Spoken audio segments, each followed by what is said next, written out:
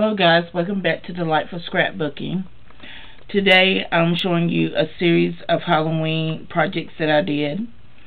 The first I'm showing you is a Halloween mini. I bound it with this ribbon, added some gems.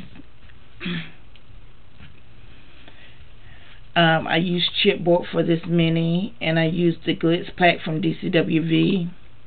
On the edges I just added black lace and this uh, silver trim that I got from Hobby Lobby. This Trick or Treat die cut I got from um, Joann's last year when they had a sale and it was on clearance. On the first page I just have a die cut of a ghost and these eyes that holds the tab that you can journal and you can um, put your picture on. On the next page, I added a bling from Paper Studio and these roses from um, Guys I Forget, so I really couldn't tell you. They was just in my stash.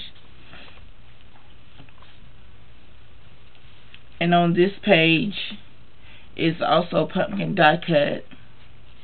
And you just open one flap, another flap, another flap where you can journal and add your pictures.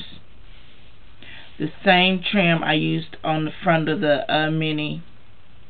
And there's another die cut of a pumpkin. Me close back up. On this page, a woven in ribbon in this trim, as you see and then I adhered it onto this uh, page added a, a orange flower.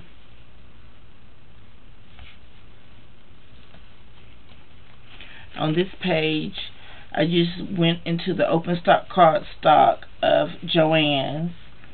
And I um, got this Halloween paper uh, with the same die cuts. I uh, pop I'll pop this cat on dots and then you can add a picture you can journal whichever. This is also a pocket that you can journal and add your picture with a little ghost.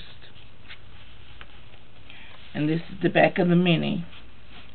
Hope y'all like the mini guys and thank you to all my scraps of color uh, fam for the comments and for everything that y'all have uh, said to me and um, I really do appreciate it. And thank you for the well wishes. Until next time, y'all be blessed. Y'all take care. Bye-bye.